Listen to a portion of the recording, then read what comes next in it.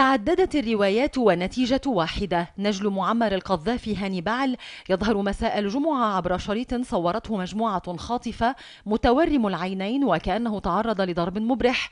وأن طمأن في الشريط إلى أنه بصحة جيدة ومع أشخاص يخافون الله.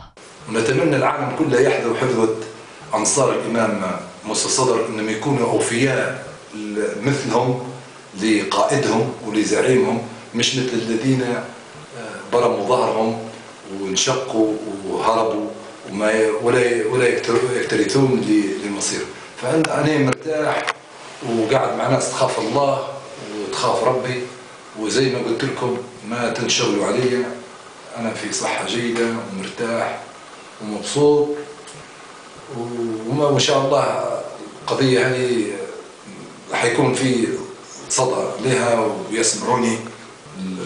يعني أنا قصدهم اللي عندهم أدلة أنهم يقدموها فورا بدون تلكك وبدون آه، تأخير. بين رواية استدراجه من سوريا إلى لبنان حيث خطف وبين خطفه داخل الأراضي السورية حيث يعيش منذ سنوات يخضع هانيبال للتحقيق مع شعبة المعلومات التي تسلمته بعد وقت قصير على إعلان خبر اختطافه بعد أن تركته المجموعة الخاطفة على طريق بعلبك حمص الدولية.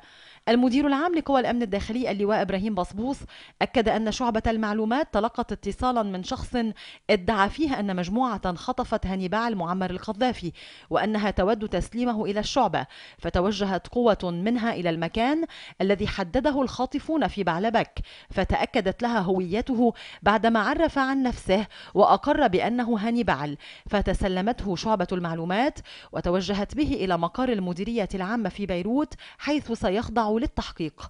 هانيبال هو الابن الرابع للعقيد معمر القذافي ولد في 20 سبتمبر عام 1975 شغل منصب المستشار الأول للجنة إدارة الشركة الوطنية العامة للنقل البحري عام 2007 بعد حصوله على شهادة الماجستير في إدارة الأعمال واقتصاديات ولوجستيات النقل البحري من جامعة كوبنهاجن لإدارة الأعمال. لهانيبال القذافي العديد من الفضائح والمشاكل القانونية في عدد من المدن الأوروبية.